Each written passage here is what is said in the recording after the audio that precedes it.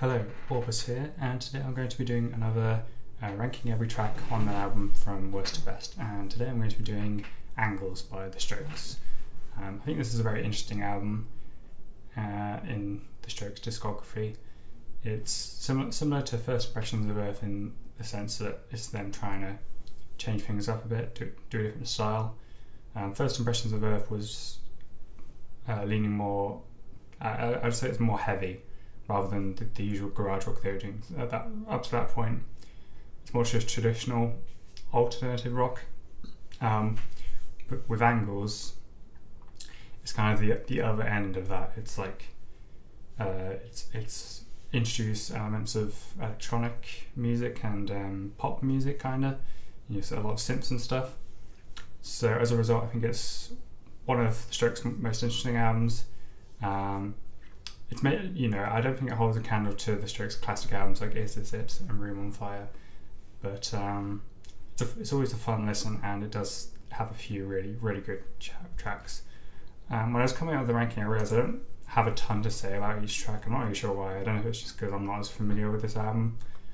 Um, but yeah, I'm just going to go through all the tracks, ranking them worst to best. And uh, yeah, don't get too mad.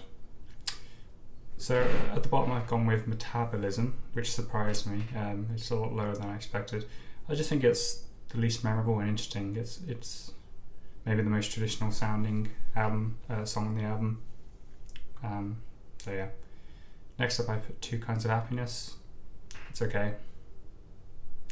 Um, and you're so right. Next, uh, again, it's decent, but there are better songs on there.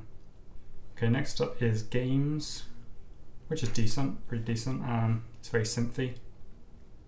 So uh, next up is Life is Simple in the Moonlight, the closing track. It's um, it's one of the slower, more ballady ones, and it's it's, uh, I think it's great.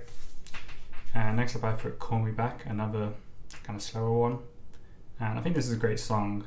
Um, I guess what puts it lower than some other tracks for me is just that it's Sometimes I feel like it can drag a bit, but it's a great song. And next up I put Gratisfaction, which is a fantastic song actually. Um, maybe slightly underrated. Uh, yeah, I've, I put it up there with some of the best songs on this album. Um, and now we're in the top three. And these three are pretty interchangeable. They're all fantastic strokes tracks and some, some of my favourites that they ever did. But at number three, I put Undercover of Darkness, which is probably the most popular one, but um, I think it's fantastic. I guess I just like the other two more. And number two, I put Taken for a Fool, which is perfect song, really enjoyable. But at number one, my favourite song on the album, I've gone with the opener, Machu Picchu, which I don't know if that's a common choice for a favourite song on the album. Yeah, I don't think it was released as a single, but I think it's just as good as the actual singles. And um, yeah, when I listened to this album today to do this video, I was like, yeah, um, I'm okay putting this at the best.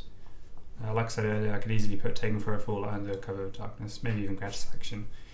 But yeah, Machu Picchu is what, the one I'm feeling today. I just think it's fantastically enjoyable. So there you have it. That was my ranking of every track on Angles by the Strokes from worst to best.